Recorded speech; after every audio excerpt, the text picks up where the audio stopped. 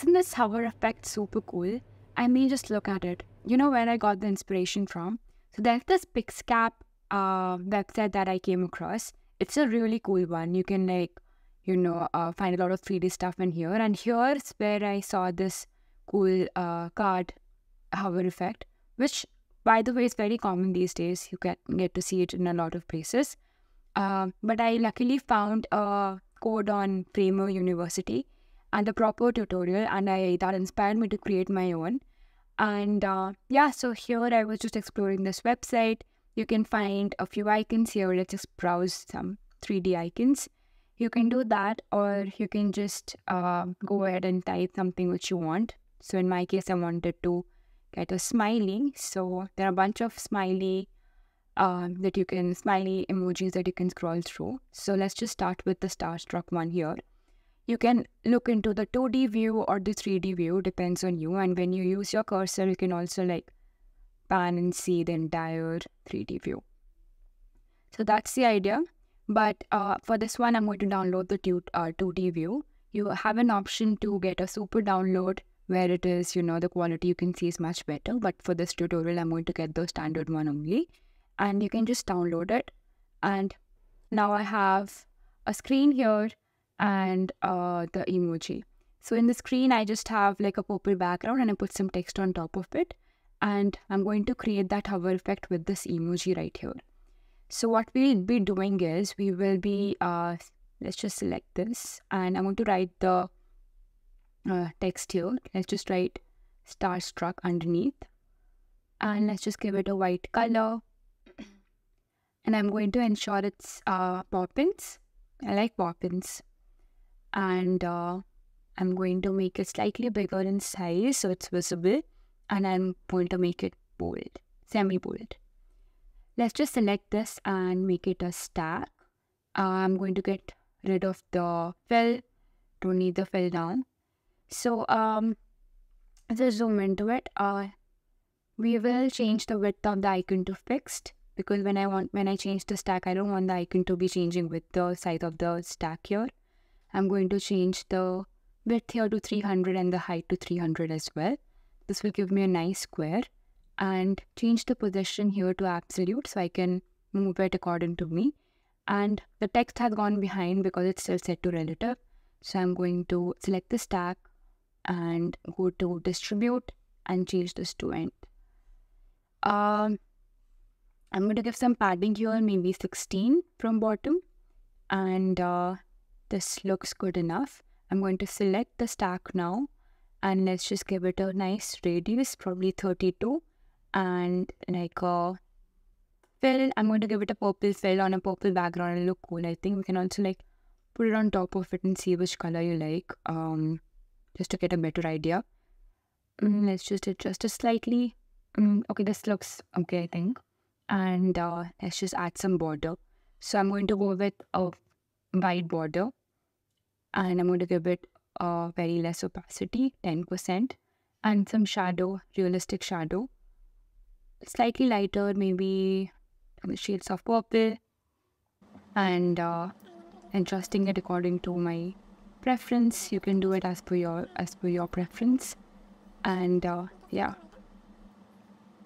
Okay, so this is good enough. The card is ready. Now we'll have to create the light because when we are when, when if you saw the hover effect carefully, there was this light moving with the cursor. So to do that, I'm going to create a frame here, put this inside the stack, and I'm going to make it absolute and set it to center. This is very important. If you don't do this, it won't really work. So we're putting the frame in the, inside the stack. I'm going to resize it properly so it covers the entire area and now I can just manually adjust it slightly and now let's just pull this uh, these corners in and set the radius to um, all the way up to 1000 maybe because I want a big circle here. Um, and I'm going to give it a radial gradient. So uh, the outside is uh, set to zero opacity and I'm going to set the inside to something uh, like a lighter shade of uh, purple and to make it even more smooth I'm going to add some blur effect here let's just make it 15 so it blends properly so yeah this looks good the card is ready um so here I'm going to change the name on this frame to light because this is light and uh, I am also going to reduce the opacity here because in default state we don't need the light. This is going to come when we hover over uh, on it and I'm going to rename it to card and create a component. So that is done. Um, let's just create a hover state here by pressing here and uh, light here will be full opacity. I'm going to change that and now when you see when you hover over it you'll be able to see the light. It looks pretty cool as this but what if it moves with the cursor? It'll be even cooler, right? That's what we'll do now. So we'll select the variant one and I'm going to go to code override and go to new file. Here we'll write a new override and call it light. Click on create here. Uh, there'll be a pre-filled code which I'm going to get rid of because we don't need this. And this is the code which we're going to take. This is from Framer University, the code that I was talking about. We're going to copy the code from here and paste it as it is and command S to save it. Um, that's it. After that, we're going to uh, go back here. Now I'm going to go to uh, the layers tab here and let's select light and we go all the way down here, press uh, code override and here I'm going to get the option of light here now and override I'm going to select and that will be with cursor follow so that is how it will be. And now when we play it, we'll see that the light is visible but still not following the cursor. And that is happening because we have uh, one thing to change here. What we'll have to do here is we'll have to um, go all the way down to accessibility, add a tag and uh, call it button because that is when it sort of works properly. But if you see when I'm hovering over the text, it starts acting weird, the light. So we'll have to change another setting here so we'll go to text and go to um, on the way to style and go to pointer and then change that to null. So once you do that, you'll see that this is working fine, but the light is still overlapping, like it's coming on top of the text, which I don't like. You can fix that easily by getting um, rid of the Z uh, index here and the light frame. So now you'll see how beautifully your light works. It follows your cursor and uh, and you can just adjust the opacity here. I don't like it's uh, kind of too bright. So I'm going to reduce the opacity slightly till I like it. So yeah, this looks slightly better. So once that is done, I am good to go. I move back to my home page. And here I'm going to now add the tilting card effect. So uh, for that, I'm going to select the card here and I'm going to go to code override again.